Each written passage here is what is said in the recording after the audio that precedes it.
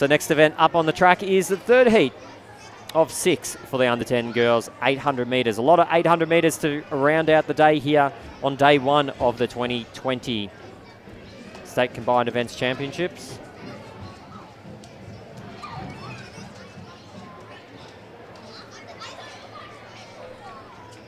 So with hip number one, Madeline from Bendigo. Hip two, Chelsea from Mentone. Hip three, Matea from Melton City.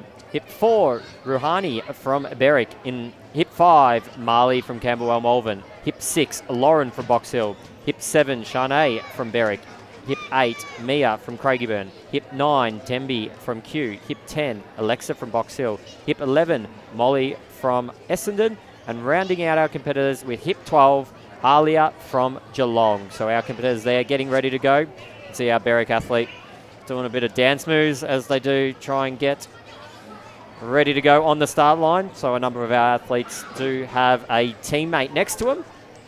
Lockie, you'll actually be interested to know our under nine boys were our dance champions of the day. Um, our very, very heavily entertained during their 100 metre and their hurdle events at the start line. So they have uh, they I are the saw reigning that, Kim. I don't know what currently. you're talking about. No, they were pretty. Uh, just when you were out taking some pics early today, you might have missed the shots, but um, they definitely were entertaining. So we are underway to a clean start. So we didn't have anyone in lane four, so we will try and figure out who that missing athlete was.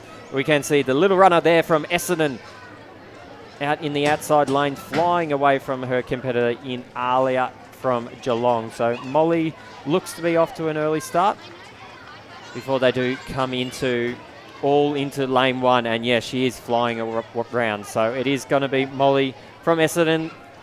Going to make the dash in this 800 metres. We then go back to our Geelong.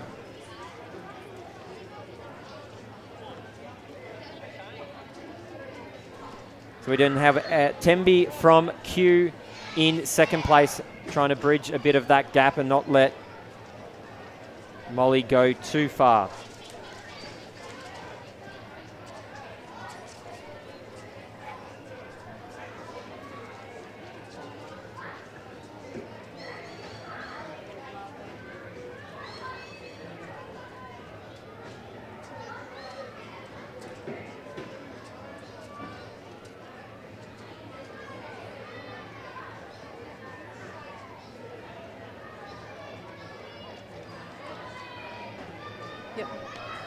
So a little bit of a change here as they do go through the bell lap in a minute 28. So our winning athlete is going to fall back a few positions. So uh, Alia from Geelong has taken the late lead, but there are a few athletes up there on her shoulder. We can see Shanae from Berwick out there on the outside.